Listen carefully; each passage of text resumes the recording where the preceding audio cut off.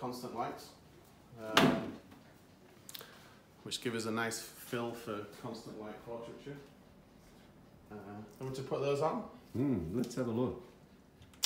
Whoa, Yeah, there's, there's, there's a lot of light there. oh, look at the light on your face. Stay there, let me photograph you. Oh yeah. Uh, what's that camera down there?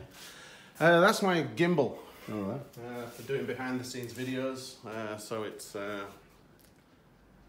And the equipment you use? You got Sony Sony. to do your video?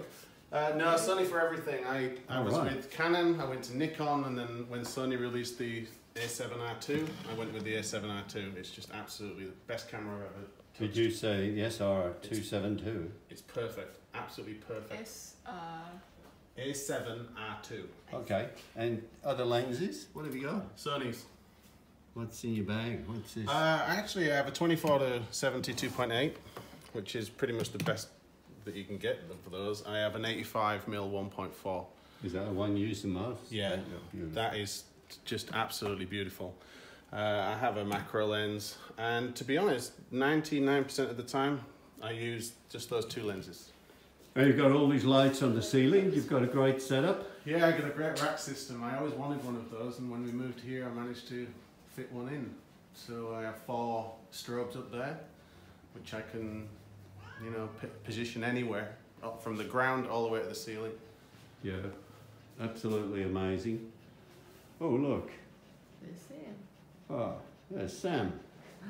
Looking very warm in Brisbane. And uh, that's not me meowing, by the way.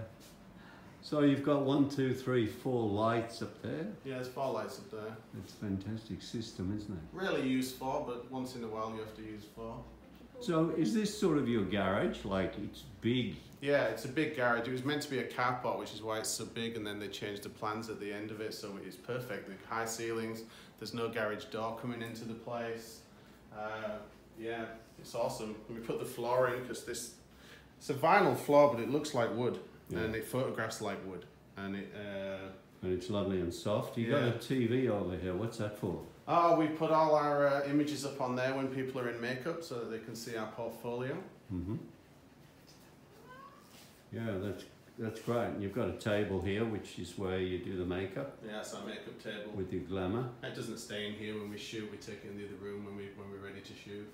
Um, And you've got some Jimby the lighting, the balls up there. Yeah, you I- use them. Used to use them. I had a phase.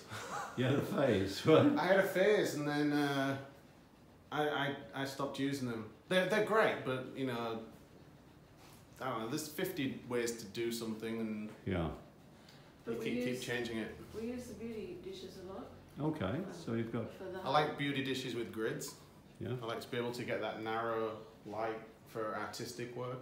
And when we do fitness, Uh, yeah, fitness, when you're doing side, side light for fitness shots, they give a very dramatic light. But my soft boxes are also gridded. Uh, I actually love gridded. So, uh, I don't Oh, like yeah. light that goes everywhere. I Yeah. kind of like to point it. Like focused light. Focus light, yeah. Although when we're doing our natural light stuff, uh, you know, the backlight stuff, I actually just bounce light everywhere. But it depends on what style we're shooting on the day. Yeah. So that's great. So we kind of pretty much we can shoot any style really that I want to shoot in here. And we've got a little room here, which is a sort of bathroom, toilet. Great. Okay. It's all so good. So, uh, thanks for showing us around, eh? You're That's amazing. That's Thanks for coming.